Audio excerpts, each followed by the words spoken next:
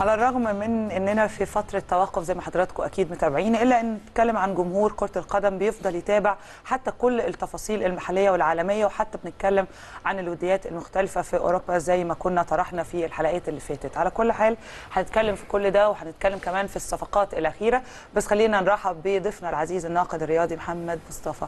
بونجور صباح الهنا. بونجور كريم مبسوط دايما إن أنا بكون معاكم ومع جمهور طبعا النادي الأهلي. يعني. منور الدنيا. أهلا بحضرتك معانا وعندنا حاجات كتير عايزين ندردش معاك فيها. بس خلينا نبتدي بالموسم ال- ال- اللي خلص ده. مم. إحنا محققين فيه العلامة الكامله ووصلنا فيه لنهائي نصف يعني نصف نهائي كأس مصر.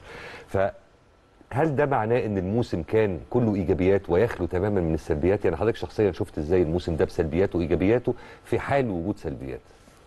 أول حاجة آه النادي الأهلي نجح فيها في الموسم ده كانت من السنة اللي قبلها.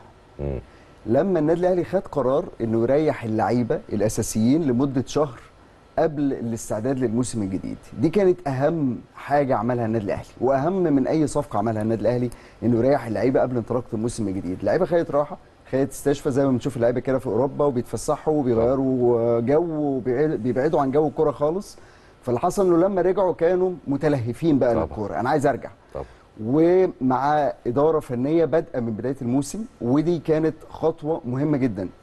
إن أنت يبقى معاك coach بادئ الموسم هو اللي مختار العناصر هو اللي بدا الموسم بشكل معين وبعد كده في شهر آه، واحد غير التكتيك وغير طريقة اللعب لأنه بادئ من أول الموسم لأنه شايف إمكانيات اللعيبة لأنه شايف ال rhythm وشايف الأداء التصاعدي للعيبة فقادر يقيم بشكل كويس قوي تمام.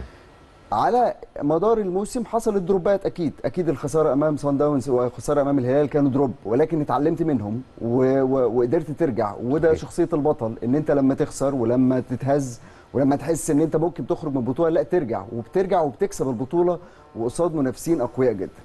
آه الدوري إن أنت تنهيه ويكون ليك كمان مباريات مؤجلة من قبل ما من قبل الدوري ما يخلص بخمس ست أسابيع دي برضو علامة مميزة جدا.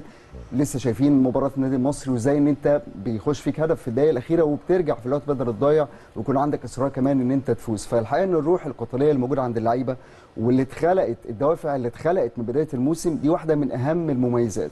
وأي سلبيات على مدار الموسم كان بيتم معالجتها أول بأول. المهم بقى النهارده هو إنه لازم النادي الأهلي يفكر في تكرار ما حدث الموسم الماضي والموسم الجاي بالنسبة لموضوع الأجازة يعني تقصد الأجازة آه. والتحضير لأن الموسم الجاي في خلال كلامنا كده هو موسم استثنائي جديد للكرة المصرية